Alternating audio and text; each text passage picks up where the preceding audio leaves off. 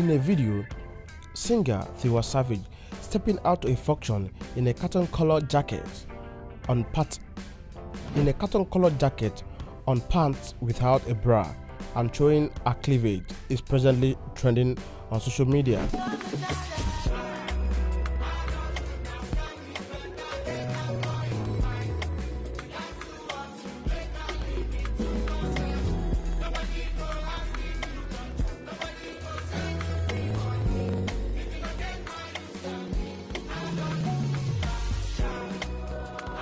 In a video, the singer and single mom of one, Tiwa Savage, appear uncomfortable while being recorded as she made her way into the function she was dressed for. Tiwa Savage uneasiness in the video has now sparkled mixed reaction on social media, while many mock her for stepping out in such manner when she wa- when she wasn't confident enough to handle it.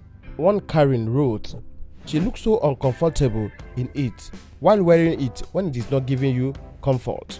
One Adedeji wrote, Is this dress up comfortable for her? No matter what it is, she is not comfortable and decent for her to be such dress. Despite the very indecent video that leaked last time, she needed to adjust but display what people labeled her for.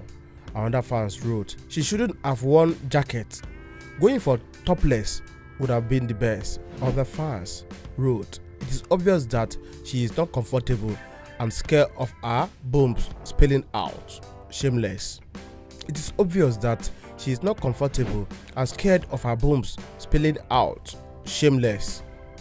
Sources said that Tiwa Savage recently admitted that she has been served a lot of breakfast, which is slammed for being silent.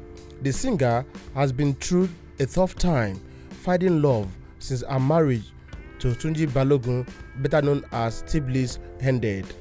During the Rick Ross and Davido live in concert, Tiwa Savage took to the stage to vent out her frustration. She admitted she has been jilted a lot of time. Tiwa Savage said, I have been served breakfast too much.